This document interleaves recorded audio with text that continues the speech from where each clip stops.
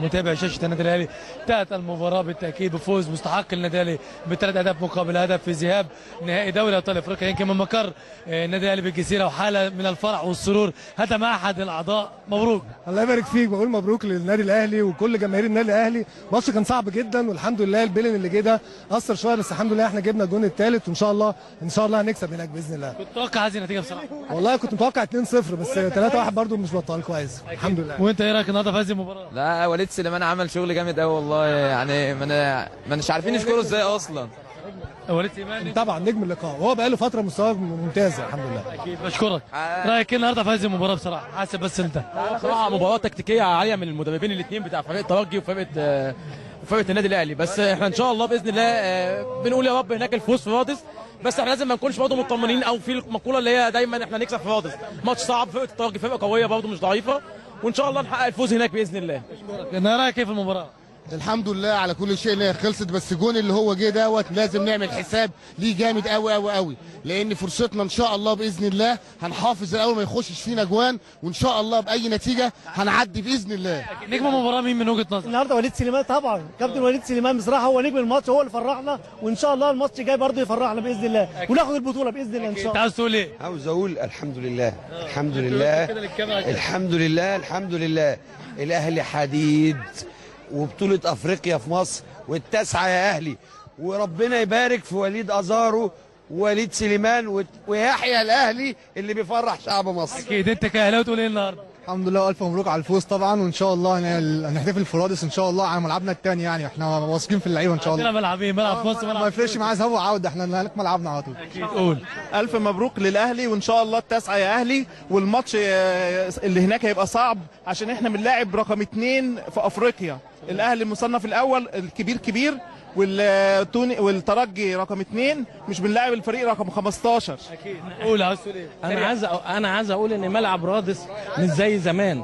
إحنا عايزين ملعب رادس نكون رجالة زي ما كنا رجالة النهارده. ضروري نكون رجالة. ما نحطش في دماغنا إن ملعب رادس بتاعنا. لا. عايزين نبقى رجالة زي النهارده. عايزين ثلاثة هناك تاني. أكيد. إن شاء الله. عاوز تقول إيه النهارده؟ عايز أقول مبروك للأهلي. إن شاء الله بإذن الله الكاس بتاعنا إحنا. إحنا الأهلي. الأهلي فوق الجميع. وعايز أقول لها اهو تعالي قول لهم حاجة. كنت متوقع النهارده؟ كنت متوقع إن الاهلي يكسب نجم المباراه من وجهه نظر 3-1. مين أنا كنت متوقع 3 1 وقلت آه. 3 1 الجماعة قاعدين أك- وهنروح نكسب هناك خلي بالك 2-1. خلي بالك آه، كابتن سيد عبد الحفيظ عمل تصويت لكل مشجعي النادي الأهلي اللي يتوقع المباراة ليه ثلاث تيشيرتات. مبروك ليك ثلاث تيشيرتات. الله الله عليك. أنا توقعت 3 1 أهلي وهنكسب هناك 2 1 أهلي أهلي. مبروك. الله يبارك فيك. شكرا شكرا. عاوز تقول إيه النهارده؟ بس بقى أنا أصلا جاي من أمريكا مخصوص عشان أتفرج على الماتش هو جاي ده.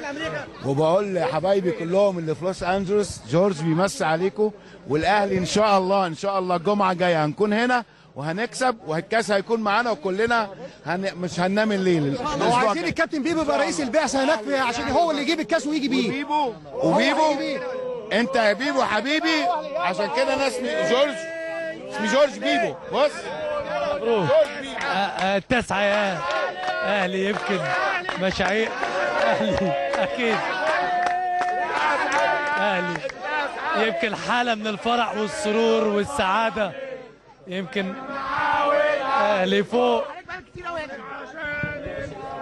أكيد مشاعر مختلفة و... ويمكن لسه مستمرين كمان في الهتافات وال...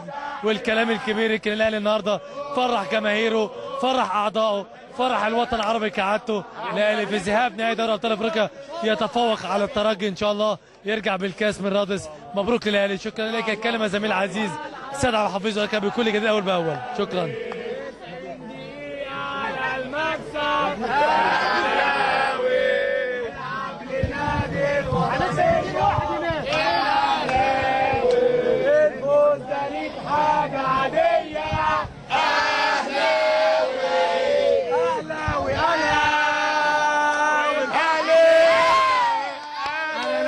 الكورن في الكرة هو ندية وعيش واموت. وعيش وهو دايما مكانه. لا لا لا لا.